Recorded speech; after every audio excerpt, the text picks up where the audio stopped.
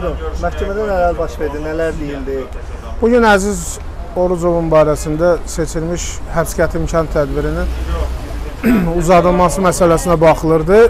İstintaq orqanı həbs qəti imkan tədbirinin daha 3 ay e, uzadılmasını məhkəmədən xahiş etmişdi.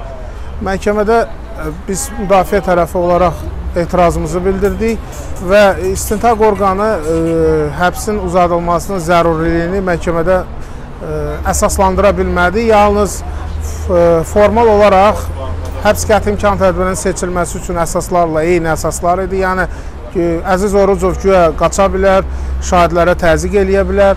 Halbuki bunların e, heç biri reallıqda mövcud deyil. O heç yerə qaça da bilməz, çünki onun barəsində istintaq orqanı artıq ölkədən çıxışa məhdudiyyət qoyubdu və şahidlərin dindirilməsində də özləri də etiraf elədilər ki, istintaq hərəkətləri demək olar ki, tamamlanıbdı.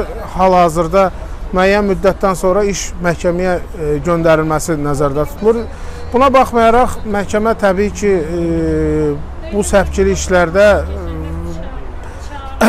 formal yanaşır və istintaq orqanının təqdimatını təmin elədi və həbs qəti imkan tədbirini 3 ay uzatdı. Bəli, Əziz Orucovun ilk işi ilə bağlı şikayət artıq Avropa məhkəməsinə göndərilibdi və e, burada da biz apellyasiya şikayəti verdikdən sonra e, bu işi də Avropa məhkəməsinə göndərəcəyik. Bundan əlavə onun ittiham olunduğu 308.2 maddəsi e, qanunvericiliyə edilən yeni dəyişikliklərə görə, yəni onlara Milli Məclis payız sessiyasında baxmalıdır.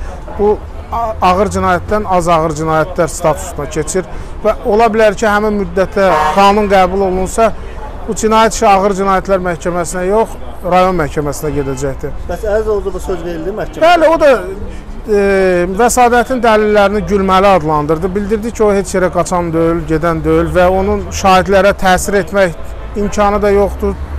Digər tərəfdən onlar artıq dindirilibdi.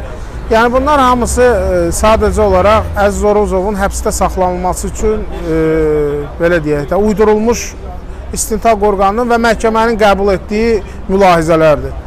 Belə çıxır ki, həbs olunmaq üçün heç bir material olmadığı üçün istintaq müddəti uzadılır.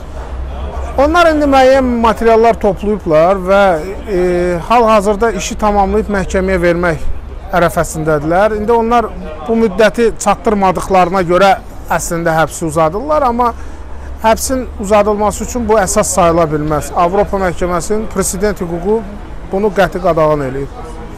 Çox Nə, nəyə əsasən uzadıldı bu? Çox pis. Görünür ki, e, bu Əziz Orucova qarşı da ən yuxarı səviyyələrdə sərt və sifarişli münasibət var.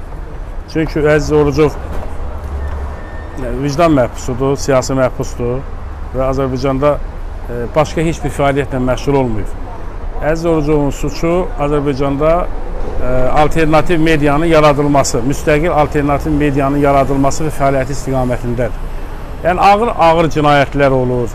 Bizim gördüyümüz ə, cəmiyyətdə oxşar hadisələr var, analoji hadisələr var. Onların heç birinə bu qədər ağır ə, sanksiya tələbi yoxdur. Artıq 7-ci aya, 9-cu aya gedəcək Əziz Orucovun sanksiyası. Bu nə iş görüb ki? Hansı cinayət törədib ki? Çox ağır cinayət törədən adamları 3 aydan, 4 aydan sonra məhkəməyə çıxarırlar. Göstərir ki, bu onu göstərir ki, Əziz Orucova qarşı münasibət, Azərbaycan mətbuatına qarşı olan münasibətlə düz mütənasibdir. Alternativ media ilə olan münasibətlə düz mütənasibdir və ona xüsusi sifariş və qərəz var. Siz keçmiş siyasi məhbus olaraq Əziz Oğuzovun e, müdafiəçisi üçün nələr edəcəksiniz? Yəni ki, digər siyasi məhbus, keçmiş siyasi məhbuslarla birlikdə. Həbs olunduğu gündən Əziz Orucovun müdafiəsindəyik. Kanal 13-ün o fəaliyyətini dayandırdığı gündən Əziz Orucova qarşı hətta inzibati tədbir görüldüyü zamandan indi də bütün tədbirlərdə iştirak edirik və təbii ki, Əziz Orucovun müdafiə komitəsi yoxdur, amma Əziz Orucovun ailəsinin istədiyi istiqamətdə müdafiə tədbirləri davam edir və bu günlərdə Mehman Əliyevlə bağlı yaradılan qurumda da e, təkcə Mehman Əliyevin yox, eyni zamanda Əziz Orucovun və digər siyasi məhbusların da müdafiəsi qurulacaq. Yəni Əziz Orucov həbsdən azad olunana qədər bizim tərəfimizdən aktiv şəkildə ardıcıl müdafiə olunacaq. Rızovla bağlı bunu deyə bilə- bilərəm ki, onun həbsinin e, səbəbləri Kanal 13 TV ilə bağlı deyil. Yəni Qafqaz Media Tədqiqatlar e, Mərkəzinin təsisi kimi 2012-ci ildə ona qarşı başlamış e, cinayət işinin, yəni davamıdır. Həmin vaxt cinayət işinin icraatı dayandırılmışdı. Çünki həm cinayət işi əsaslı deyildi, həm də bununla yanaşı ə, onlar ə, demək olar ki, verdikləri 308 və 192 192-ci maddə ilə, yəni vəzifə səlahiyyətlərindən sui-istifadə etmə və qanunsuz sahibkarlıqla bağlı ittihamı sübuta yetirə bilmirdilər. Amma son dövrlərdə, e, yəni artıq e, Kanal 13-ün fəaliyyəti, yəni belə deyək, e, hökumətin daha doğrusu gözünə girməyə başladı, narahat eləməyə başladı və burada ən yaxşı optimal vasitə kimi 2012-ci ildə icraatı dayandırılmış cinayət işinin başlanmasına əsas götürdülər. Bildirmək istəyirəm ki, ə, ə, Əziz Orucov Qafqaz Media Tədqiqatlar Mərkəzinin ə, təsisçisi idi. Yəni təsisi Azərbaycan qanunvericiliyində hər hansısa bir müəyyən vəzifə daşımır. Yəni o nə direk- direktor deyildi, nə icraçı deyildi, nə heç bir vəzifəsi yox idi. Yəni belə bir halda onun vəzifə səlahiyyətlərindən sui-istifadə etmə ittihamı ilə, yəni həbsə alınması özü absurd yəni ə, ə, absurd bir ittihamdır, yəni barəsində verilmiş. Digər tərəfdən qanunsuz sahibkarlıq. Hətta bu günə qədər də sübuta yetirə bilmirlər ki, o qanun hansı qanunsuz sahibkarlıqla məşğul olub və nələr əldə edib. Birbaşa siyasi sifarişli həbsdir və buna görə də siyasi məhbusların müdafiə mərkəzi olaraq biz onu siyasi məhbus elan eləmişik. Media azadlığının, ya söz azadlığının, fikir azadlığının pozulmasına yönəlmiş hərəkətlər kimi qiymətləndiririk. Hesab edirik ki, bu Azərbaycanda gedən repressiyanın davamıdır.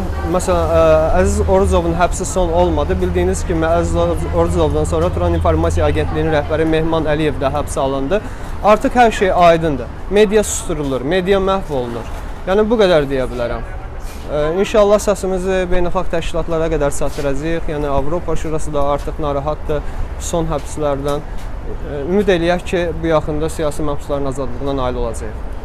Əziz Orucovun xanımı olaraq məhkəmə münasibətiniz, yəni 3 ay uzadıldı istintaq müddəti. Nələr fikirləşirsiniz?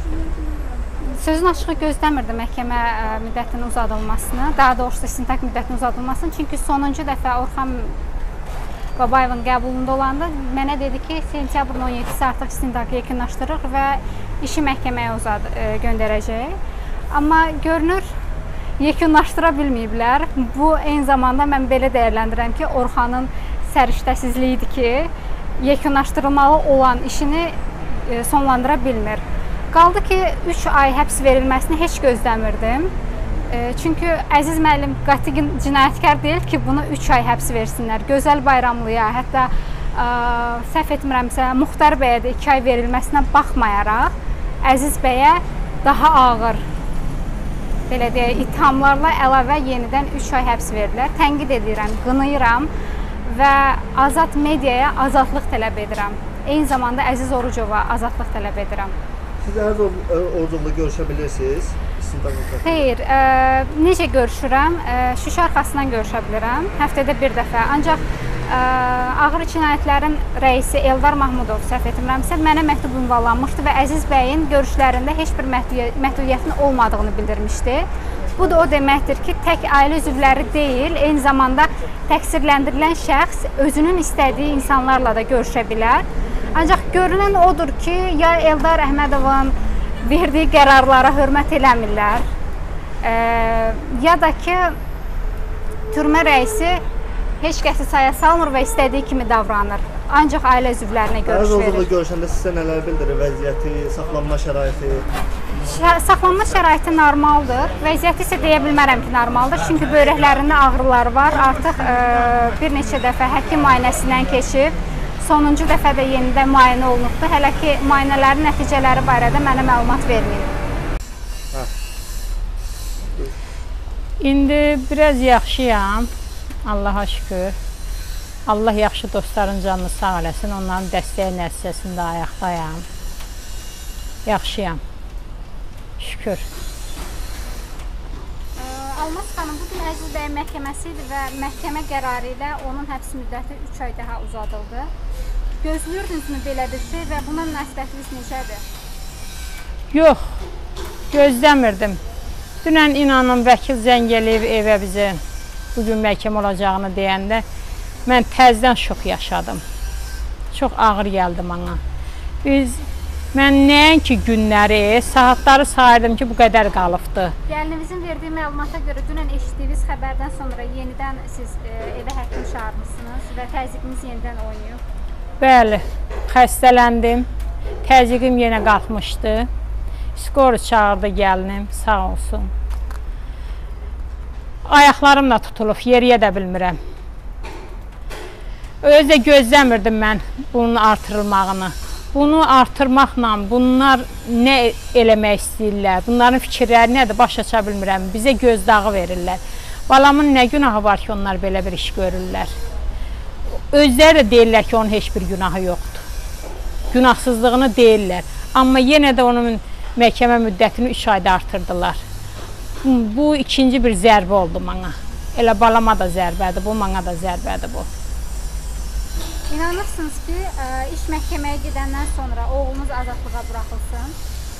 Ona çox, çox inanıram. Bir ana kimi ürəyimə də hətta damıb ki, məhkəmədə hə, doğrudan da ki, oğlumun günahsızlığı sübut olunacaq və oğlum buraxılacaqdı. Bu bir ana kimi ürəyimə damıbdı və inanıram da. Haqqqa, ədalətə inanıram. Haqq nə qədər deyir, nəzilsə də üzülməz. İnanıram.